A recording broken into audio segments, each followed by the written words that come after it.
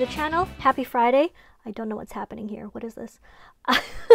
um, my name is Aziza, aka Gourmet Pens. Today we are playing with a pen that is not new. It doesn't belong to me, but I feel like it's a fitting time to do a video on this because they're about to be re-released.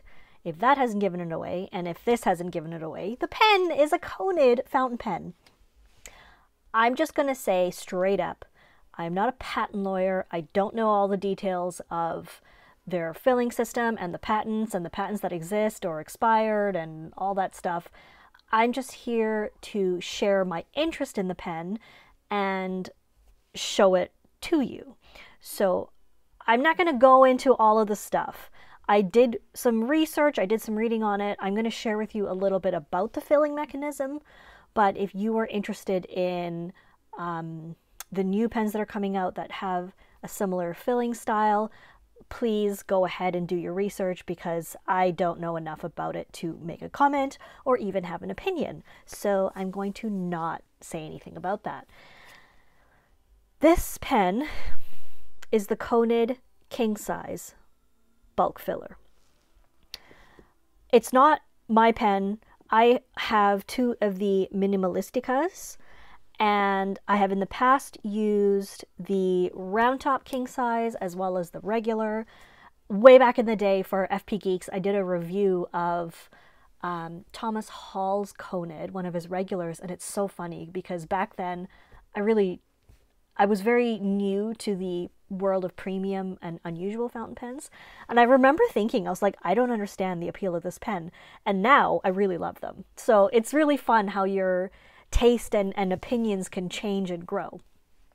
So what one thing I really like about Conid is the simple packaging. It comes in like a metal box. It's very industrial. It shows the makers, which I think is really cool, like the little team and it comes with a polishing cloth. It comes with the user guide, which is very important if you don't know how to use the filling mechanism. It's just a photo. And on the back, some more photo. And then the pen sits in here. One thing I find interesting is that you have to pay for the tools to disassemble your Conid.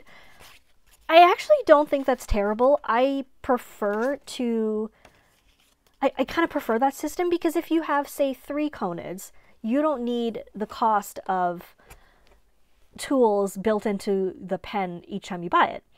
And so, but on the other hand, if you are buying it used, for example, and you don't have the tools, you can always purchase the tools. So I, I like that. I like that it's available.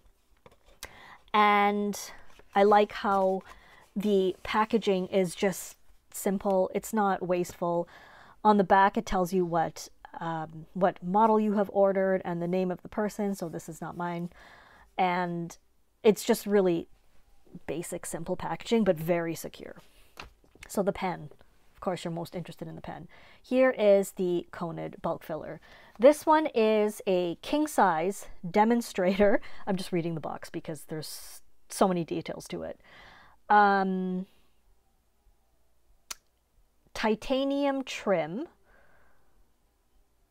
Okay, so here's the letters K, D, C, B, D, B, F, T, T, I.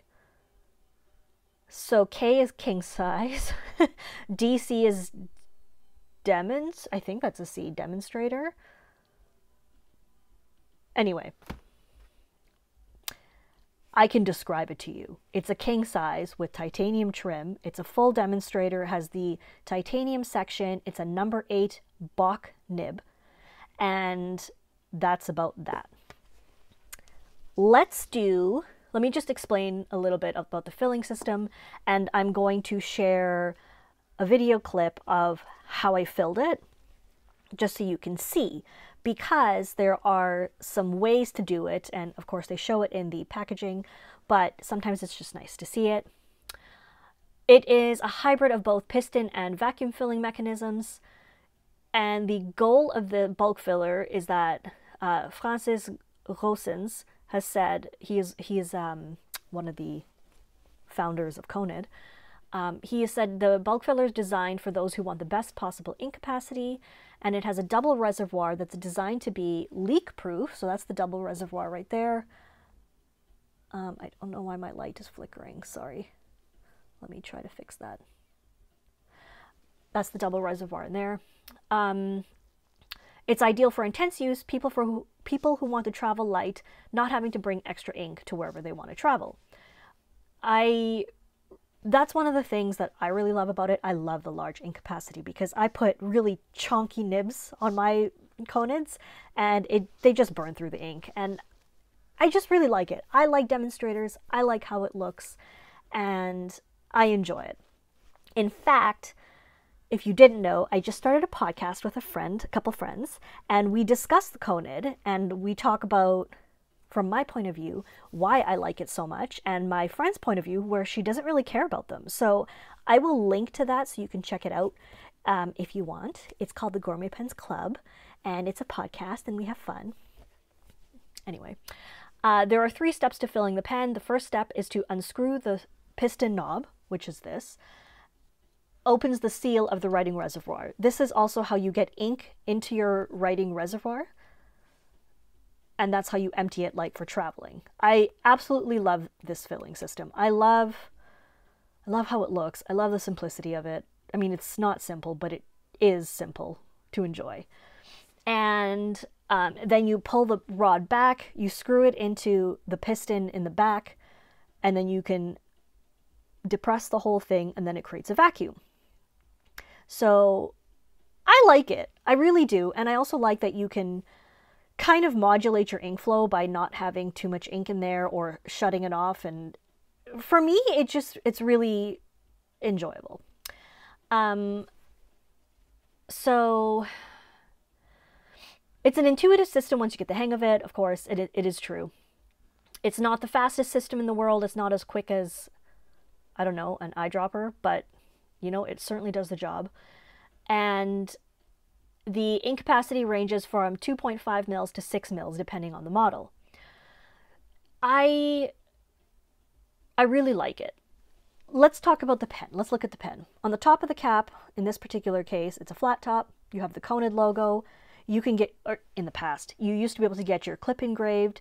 It says Fountain Bell Conid, so bulk filler. Uh, Fountainbelle is Francis Goossens. Um, Antwerp, because they're made in Belgium. And I mean, it's really interesting. It's kind of an industrial looking pen, which is totally fine. It's not going to appeal to everyone because it's not colorful and all that, but some people don't like that. I I I don't know what it is about it. I really like it. And it's a really tough pen. So the king size is pretty big, but like it's a just oversize. I've got a lineup of pens here to share with you. So here is the king size, here's a Montblanc 149, here are two Minimalisticas, and here's a Montblanc 146. Uh, we don't really need to focus on the others because this is kind of a comparison. I think most people have seen a 149, I hope. And if not, here here's a Lamy Safari. So it's it's much bigger than all of these pens, but it's also thicker. And it's a little heavy, so some people might not like that, but I mean there's also like I don't know, three mils of ink in this thing, right? So there you go in terms of size. And now let's look at it a little more. If we uncap, so the section is, you know, you'd think it'd be slippery. It is not at all. It is kind of brushed. It has a bit of like grip to it. Everything is just, everything functions really nicely together. In hand, I thought that the king size would be too big for me. It is not. It's actually quite comfy, and the balance is just bang on. Does it post? I mean, it does post, actually. I wouldn't do it because it makes the pen huge, but you could do it. Anyway, the nib I have on here is a Bock number 8. It is a 14 karat gold double broad. Again, it's not mine.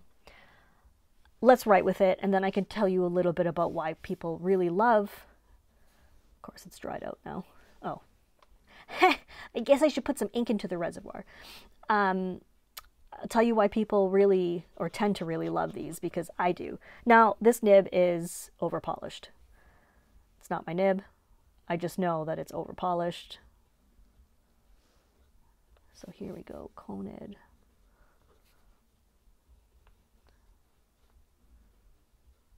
Bulk filler. Oh, it's just so nice. It it it's really a nice writer. I I truly thoroughly enjoy this pen and the comfort and how it feels. King size. We have a double broad nib. Here is the ink flow. It is really quite juicy.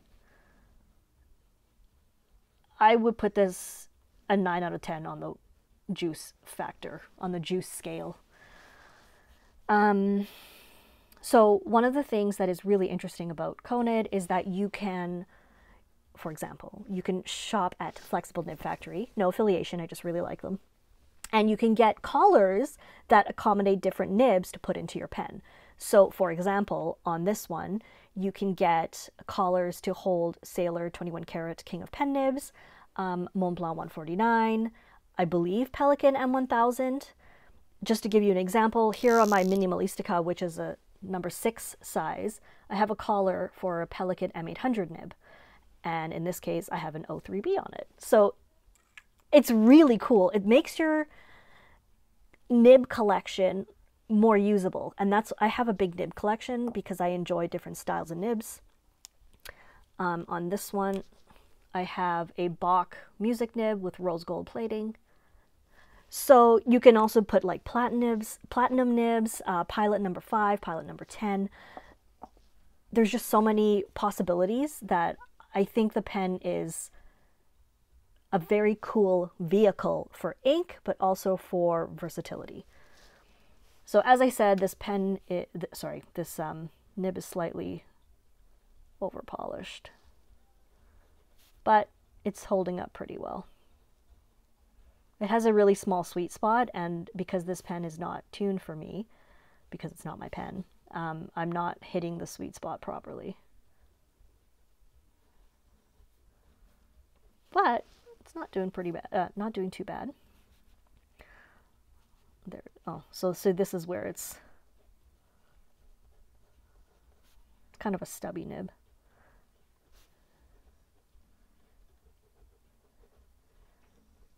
Now, as I said, I don't really know about the details of the patent.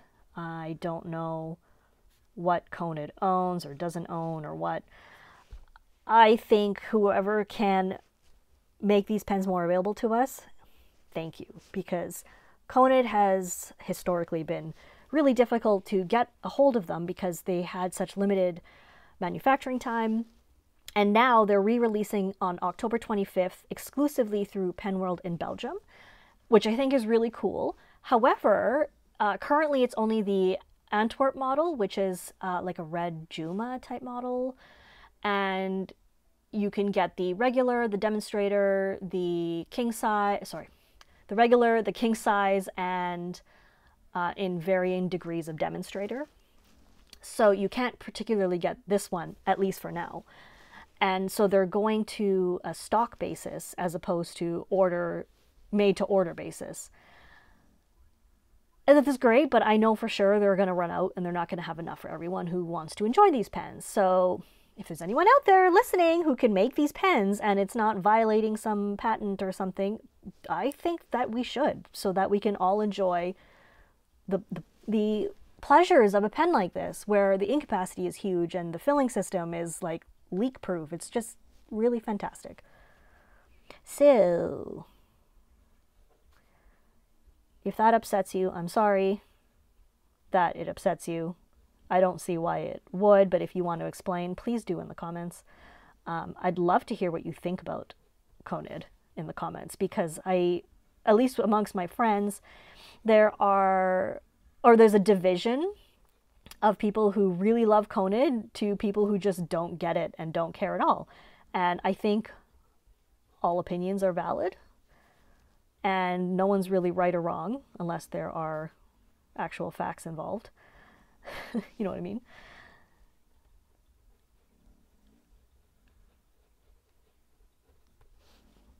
So I'm not judging this pen based on this nib because this nib is not mine and it's not tuned for me. And I believe that usually there's a Montblanc nib on here, but it was removed for so that I could um, borrow it for a couple months.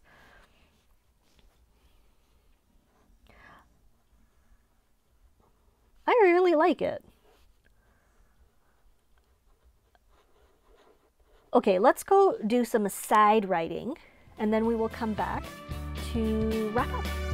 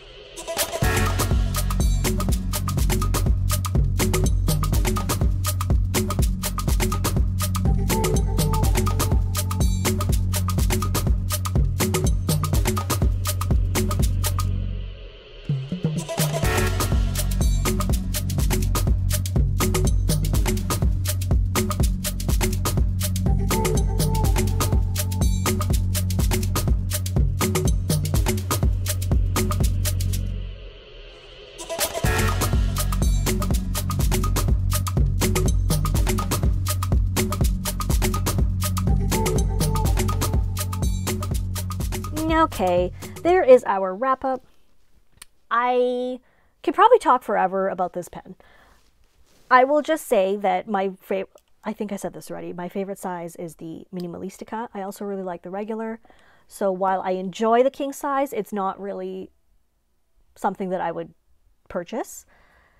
These are not inexpensive. We are looking at something like 700 euros to 1,000 euros, and they're hard to get, and um, they're very limited in terms of the uh, models currently, and so it's not for everyone, but I think that it's for some of us. And if it's for you, that's fantastic, and I hope you're able to get one. I'll put links below so you could check out the websites that are relevant and all of that business. Otherwise, let's wrap up. I've rambled a lot. I hope this was a fair presentation of this pen. It's really hard because um, it's it's out of my control as to who can get a Conid and when they're coming back and the patents and all that business. But I enjoy using them and I enjoy the versatility. So I just wanted to share that with you. So my friends, of course it's drying out or skipping. Thank you so much for watching. I would love to hear your thoughts. Do you have a Conid? Do you want a Conid? Do you think it's completely insane? I'm just curious.